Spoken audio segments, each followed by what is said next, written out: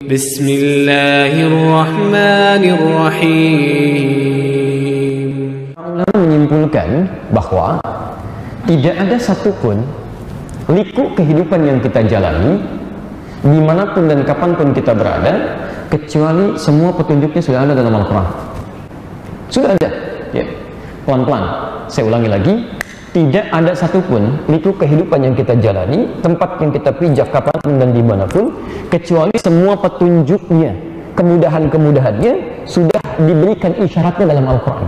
Jadi kalau anda ingin mengerjakan apa pun sebetulnya di Quran sudah ada tuh petunjuk kemudahannya petunjuk kebahagiaannya.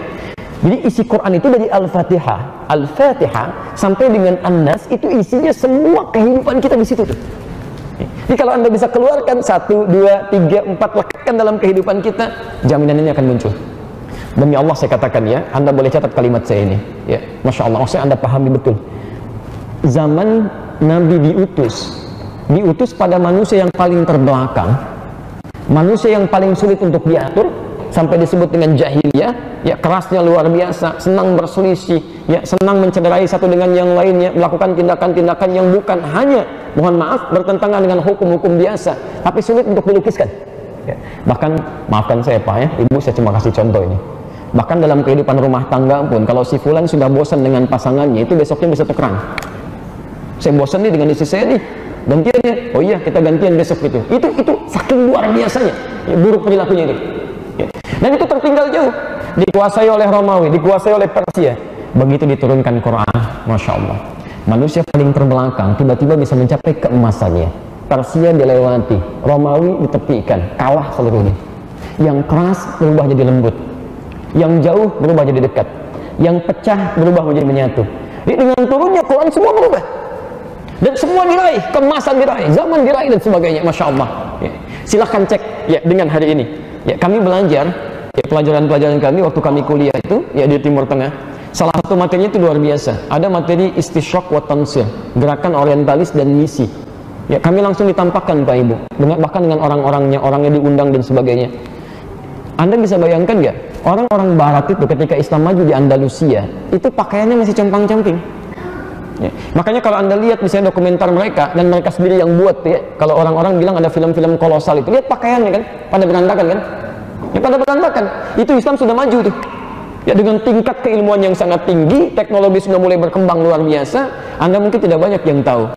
Bahkan pusat-pusat kristenisasi dan misi itu sudah mulai mengirim murid-murid untuk belajar ke Andalusia. Udah bikin udah bikin pola tuh untuk belajar. Ya, dan diterima ya, belajar, ada yang belajar bawa ilmunya dan sebagainya. Apa yang mereka ambil? Isi Quran. Tapi ketika mulai maju, kemudian terjadi pergolakan politik, ya, mohon maaf, gitu kan? Ratu Isabella kemudian bergabung dengan Raja Ferdinand, keduanya bersekutu, mulai kemudian melakukan satu gerakan hebat, menaklukkan Andalusia, intinya demikian.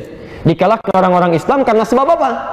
Maaf, bukan karena kurang hebat, pasukannya luar biasa besar, senjatanya lengkap, karena meninggalkan isi Quran. Jadi ketika Qurannya diturunkan dalam hidup kehidupannya, ditinggalkan nilai-nilainya, maka mulai turun, mulai turun, mulai turun. Maka diambillah kemudian oleh orang-orang barat nilai-nilai Quran ini, dipraktekkan dalam kehidupan mereka, tapi sumbernya kemudian dihapuskan, diabaikan, ditepikan. Ya, saya mau kasih informasi ya, sampai hari ini itu manuskrip-manuskrip keislaman, nilai-nilai keilmuan masih banyak yang belum bisa diterjemahkan yang ilmuwan-ilmuwan barat yang sekarang itu itu ngambilnya dari mana? Dari orang-orang Islam mengeluarkan dari Quran dibahas begini, tampilkan begini, dihadirkan lagi. Cuma sumbernya kemudian mereka samarkan bahkan ditinggalkan. Orang Islamnya tidak diberikan satu gambaran supaya tidak kembali kepada Al-Qur'annya, kembali kepada tuntunan Rasulnya, ditepikan itu mereka sendiri praktekkan nilainya. Sampai hari ini. Silahkan cek. Ketika orang Islam meninggalkan isi Quran, mundur. Mereka mengambil nilai Quran, maju.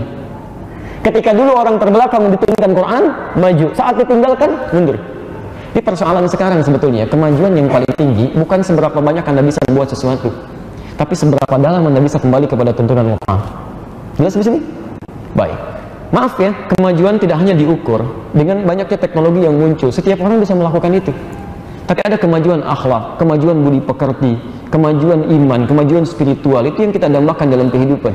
Ya, untuk apa Anda punya teknologi tinggi tapi serang ini, serang itu, hidup tidak tenang, penuh dengan ancaman. Pergi ke satu negara, turun semua lapis bajanya, kendaraannya khusus, nggak ada kenikmatan dalam hidupnya.